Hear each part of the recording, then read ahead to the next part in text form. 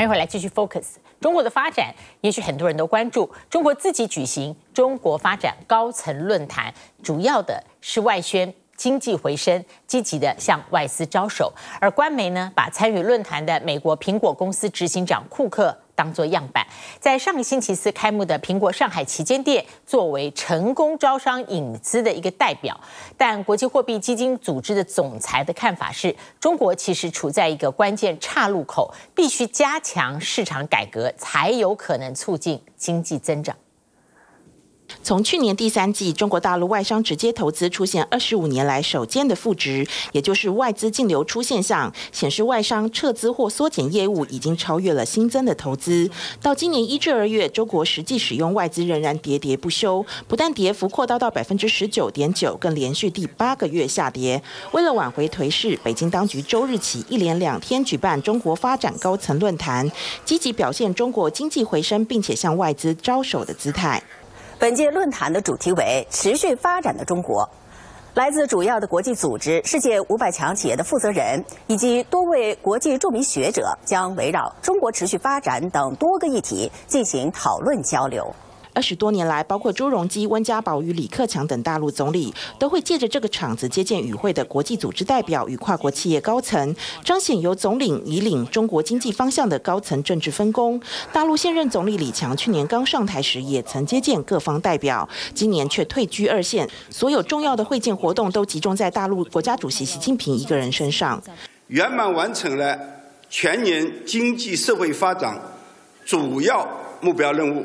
李强本人与其他国务院下辖官员一样，只发表演说，重申中国经济回升，未来将继续为世界带来更多合作共赢机遇。我们将在七个领域这个推动设备更新，这有望形成规模在五万亿以上的巨大的市场。中外企业都可以从中分享这个红利。致辞的中方官员纷纷鼓吹习近平所提出的新值生产力与汽车、家电旧换新等政策，强调将在工业、农业、教育、交通、建筑、文旅与医疗等七个领域推行旧换新。According to our analysis, a comprehensive package of pro-market reforms can bring a an additional growth capacity for China. 国际货币基金组织总裁则坦言，中国当前正处在走向过去计划经济型经济，或是全面进入轻市场改革的关键岔路口。如果选择进一步市场化改革，渴望让中国在未来十五年实体经济成长百分之二十，也就是增加三点五兆美元，约一百一十一兆元台币的经济总量。因此，呼吁北京当局加强轻市场化改革，以便促进经济发展，深度参与全球产业链供应链合作。中方官员虽然表示将加快推出外商投资准入负面清单，并将全面保障外资企业国民待遇，让更多外资企业有信心而且放心在中国投资，却没有给出任何具体内容。而大陆商务部长王文涛更是连日来与包括苹果执行长库克、美国 AMD 半导体董事会主席苏姿峰以及埃克森美孚石油董事长伍兹，甚至是南韩晶片商 SK 海力士的执行长郭鲁正等重量级跨国企业高层展开双边会谈。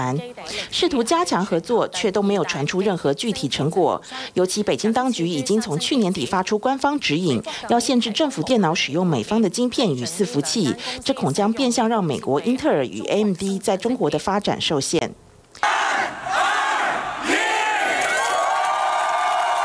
中国官媒则借着苹果公司上海旗舰店，同时也是亚洲规模最大的零售店，上周四揭幕的机会，把整场活动当作外资加码投资中国的样板。官媒记者多次询问苹果执行长库克对于投资中国的态度。I'm very confident in it. I love China. What's your expectation for the China's future development? I'm so happy to be here. It's great to be back in China, and we're continuing to invest. 官方更积极宣传库克在研讨会以及与官员会谈中对中国供应链所表达的支持态度，借以作为外资企业拒绝与中国脱钩断链的最强代表。A lot of our supply chain is in China. 我们始终认为啊，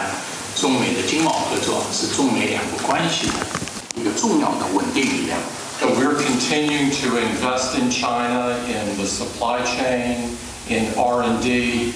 and in our store. 为了避免半导体产业脱钩断裂问题继续扩大，习近平将在周二、周三接待到访的荷兰首相吕特，届时将就荷兰半导体设备商艾斯摩尔产品出口到中国的问题展开讨论。美国财长耶伦也传出计划下个月再访中国。对大部分的投资者而言，下一个中国还是中国。不论外资与国际社会对北京的态度是拥抱或者戒备，在官方喉舌央视的十二分钟专题报道里，看好中国经济就是唯一方向。TVBS 新闻综合报道。想看最完整的新闻内容，记得下载 TVBS 新闻网 APP。